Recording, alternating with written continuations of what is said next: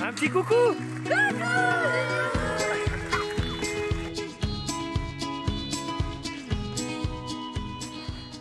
Le Woodybus. Wood comme bois, c'est ce nouvel engin de mobilité sorti tout droit de la tête de deux géotrouve-tout du quotidien. Une histoire pas banale qu'on vous raconte et qui commence ici, dans ce garage, le garage de Jean-François. C'est un, transport en commun euh, collaboratif pour les enfants du primaire. Euh, moi, avant, euh, je faisais des motos, et puis un jour, je me suis dit que c'était pas super pour l'environnement et que c'était pas ce que je voulais laisser à, enfin, à nos enfants et qu'il fallait vraiment qu'on se bouge pour la planète. Après, c'est pas très lourd à pousser. hein. Oui, oui. Ouais, ouais. Franchement, euh, ça, ça fait 200 kilos en tout. Donc à 3, on arrive facilement à, à le bouger.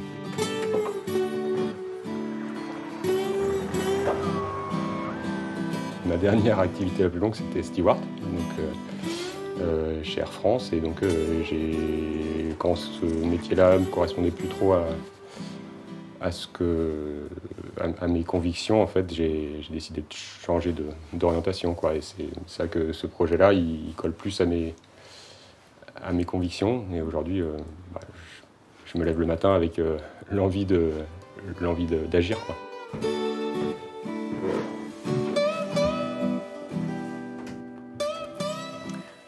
On est où là, Jean-François? On est dans mon bureau. C'est ici qu'est née l'idée du Woodybus. C'est là que je travaille depuis des années sur ce projet.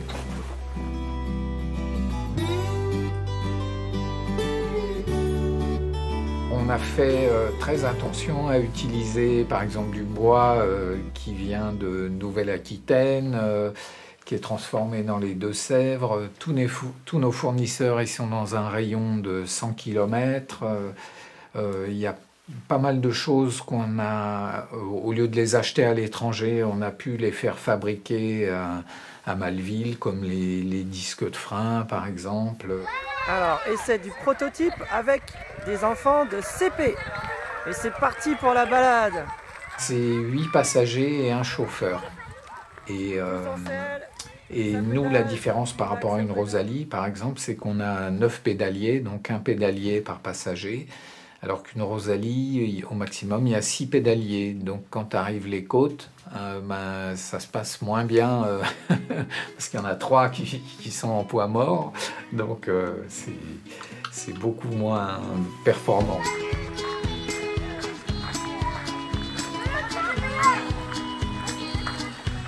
Ça va C'est confortable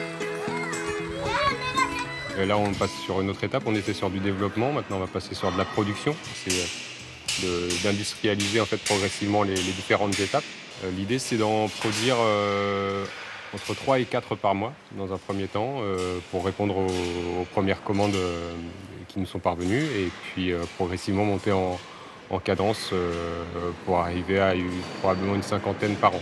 Et euh, on est heureux que, ça rencontre euh, bah, une demande, quoi. Donc euh, c'est vraiment ça qui est très positif. C'est fait pour des tournées qui font à peu près 3 km. C'est pour remplacer les, euh, euh, les voitures en fait, qui déposent les enfants à l'école, euh, ceux qui sont trop loin pour y aller à pied et trop près pour bénéficier de ramassage scolaire.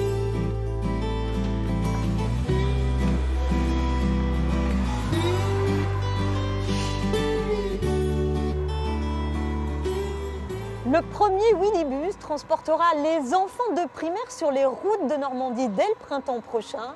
Jérémy et Jean-François espèrent le voir sillonner les pays de la Loire très vite.